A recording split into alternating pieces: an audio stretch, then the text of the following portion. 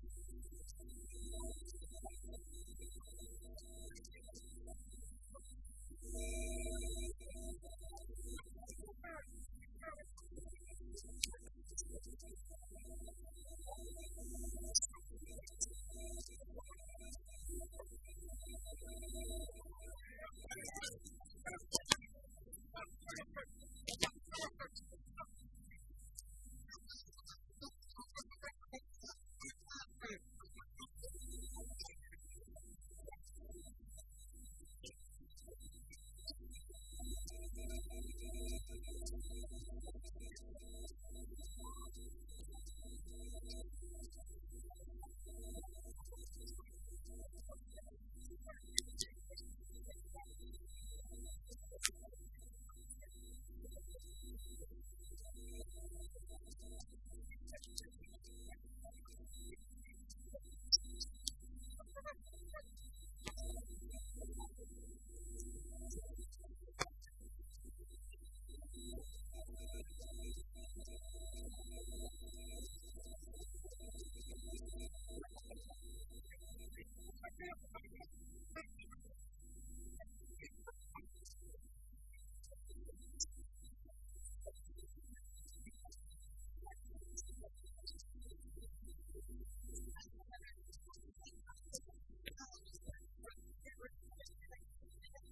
happens